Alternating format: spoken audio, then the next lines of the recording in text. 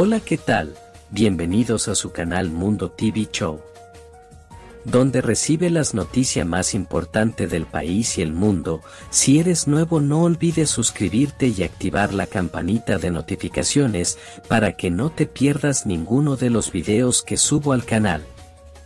Información de último minuto, queman comerciante en Laureña Santo Domingo Este.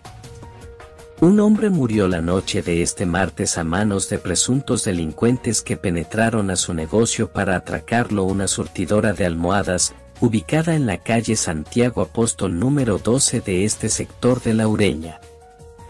El comerciante que hasta el momento ha sido identificado como Luis, fue amarrado y posteriormente quemado por los antisociales que no han sido identificados por las autoridades.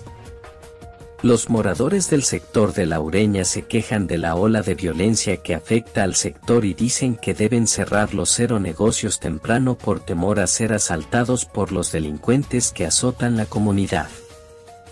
Pidieron a las autoridades más presencia policial y que los presuntos delincuentes sean sacados de las calles. Por otra parte, presidente Colegio de Abogados de Flora Cheu Vázquez esté retardando proceso. El presidente del Colegio Dominicano de Abogados. Miguel Surun deplora que el ministro de Interior y Policía, Jesús Vázquez, esté retardando el proceso con solicitud de plazo de tiempo para depositar documentos alegando son fundamentales. Nosotros deploramos que el Ministerio de Interior y Policía y el ministro esté retardando este proceso, en el día de hoy solicitaron tiempo para depositar documentos alegando que ellos entendían que iban a depositar piezas fundamentales, expresó Surun. Sostuvo que el ministro debió asistir a la citatoria para dar la cara, expresando a su vez que llegarán hasta las últimas consecuencias la acción de limitar el horario de expendio y consumo de bebidas alcohólicas que calificó como violación, arbitrariedad y abuso, alegando que esta medida afecta a miles de familias. Ante la clara violación de los derechos fundamentales eh, que representa la medida que prohíbe eh, la venta y consumo de bebidas alcohólicas en el municipio de Santo Domingo Este y varios municipios más de la jurisdicción, pues evidentemente lo lógico es que incidente el proceso. En este caso, nosotros deploramos que el Ministerio de Interior y Policía y el ministro pues esté retardando este proceso un proceso que evidentemente desde el punto de vista constitucional no tiene otro destino que es que el tribunal determine el cese de una medida a todas luces abusiva que perjudica a cientos de miles de ciudadanos del municipio Santo Domingo Este, de Pedro Brán, de los Alcarrizos, de la Victoria, eh, por eh, que contraviene eh, la Constitución y viola derechos fundamentales de una gran parte de la ciudadanía. En el día de hoy solicitaron tiempo para depositar eh, documentos alegando eh, que, ellos entendían que iban a depositar piezas fundamentales.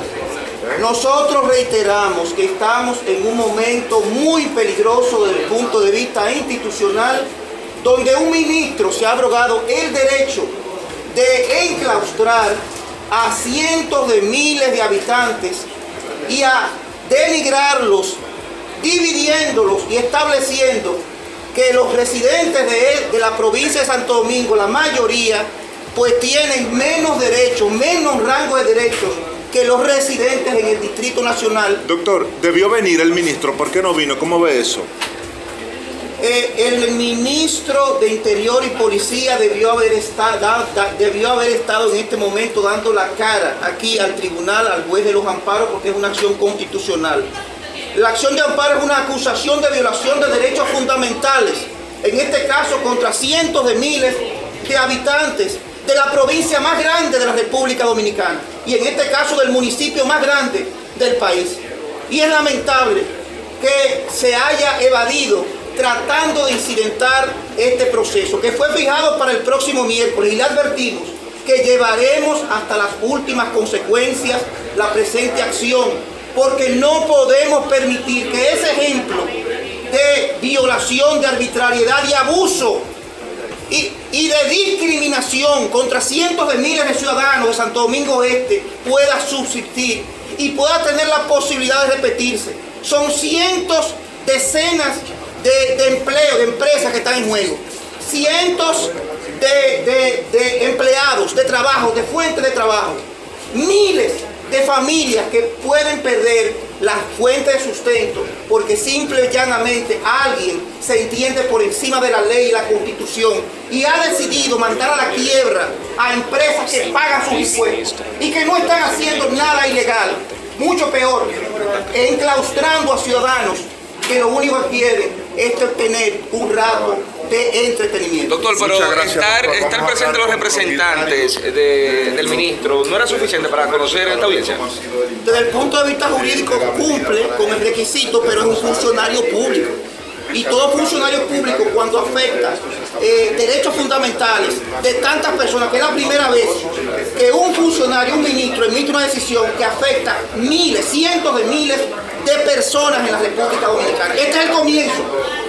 Este es el comienzo, posible comienzo, la destrucción institucional de la República Dominicana.